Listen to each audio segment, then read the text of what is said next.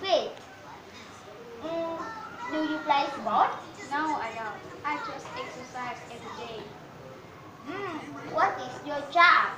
I am a yoga trainer. That's why I practice every day. Where do you work? I work